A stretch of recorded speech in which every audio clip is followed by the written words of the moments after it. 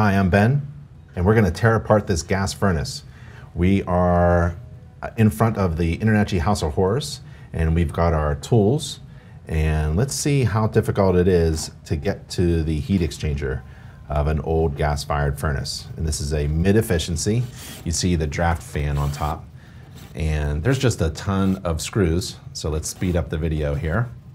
And pull apart here and let's see what's inside. So this is the top of the furnace. This is where the gas, there's the heat exchanger. This is where the flue gases and the con vent connection pipe uh, is attached to that round rim there. And the draft fan, the draft inducer fan is below. So let's see if we can get into that.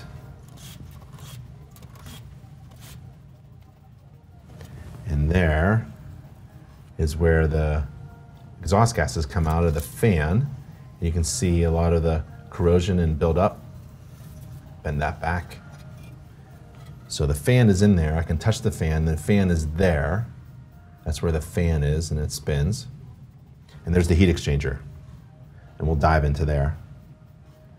Check out one of the high temperature limit switches. And there's the heat exchanger. Let's grab a flashlight here.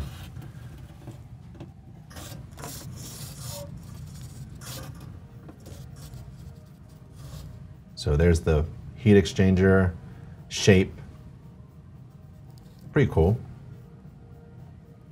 Not much to see. If there was a crack, it would probably be difficult to even see it using a camera just like that. The exhaust fan is there. And there is a, a cutoff switch, a temperature limit switch. It's hard to see, but it's inside there in the middle of the exchanger components. And there it is there. And it just senses temperature. If there's a problem, shuts it off, right? So that's diving through a heat exchanger. It's kind of cool. All right, let's take some more components off.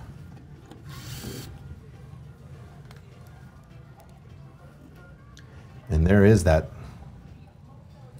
limit switch. And that's what it looks like.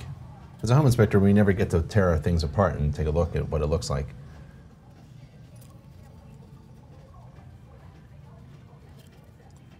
It's right in there. And that's where the gas burners are, really. That's the area. All right, let's take more screws off. Want to pull it apart, but looks like things are more together than I thought. So let's take some more components off and get my gloves on because we're going to tear apart some metal. So there's the exhaust gases. Goes past a hood to control the direction of it. And let's take this off.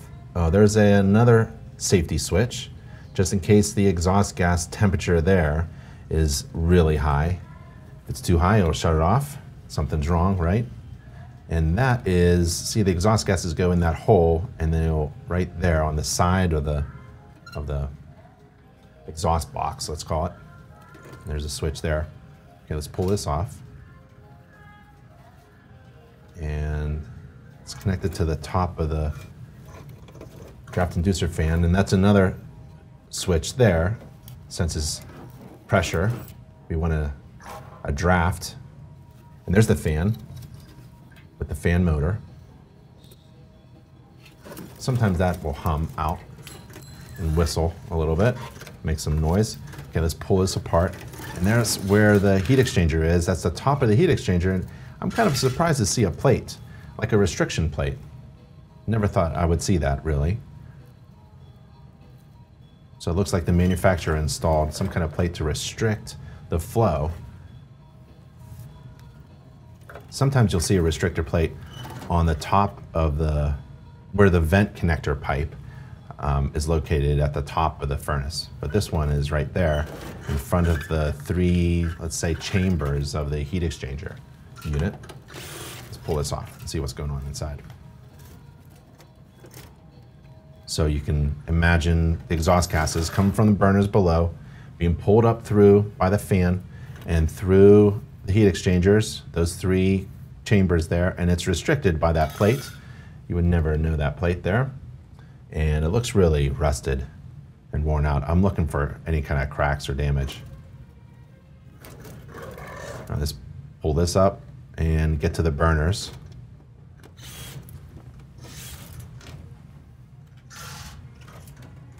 There's the manifold, the gas valve. Let's snip these wires away. So the gas comes in, and then there's the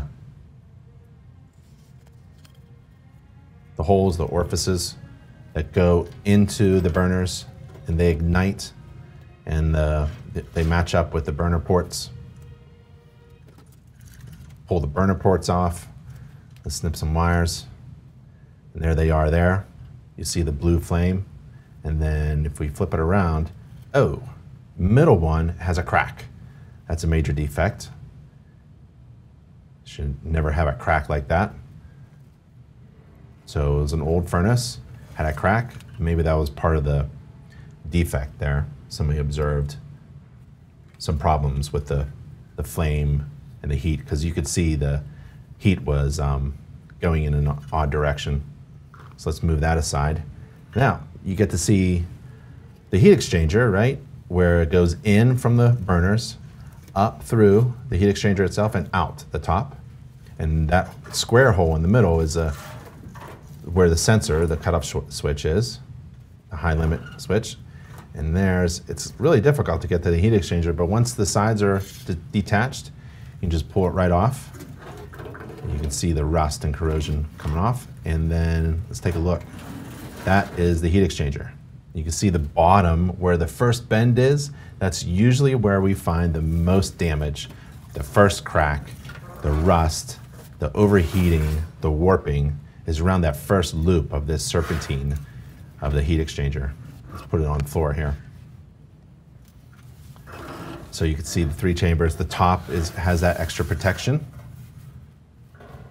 And that's kind of nice for uh, if there's an evaporator coil from an air conditioner on top but it's usually for heat and uh, keeping the heat inside. All right, so that's the heat exchanger on the floor. Let's take a look at the, the jacket on the inside. There's the blower fan down below, and the air moves up. And if you tear off the insulation, I see there's some glue or something that was attached to it, rust maybe, I don't know. But that's about it. So it's impossible for a home inspector to comment on the heat exchanger um, you really can't see anything. It's just a visual only inspection, and this is not what a home inspector does, tear things apart like this. So hope you had fun tearing apart a gas furnace.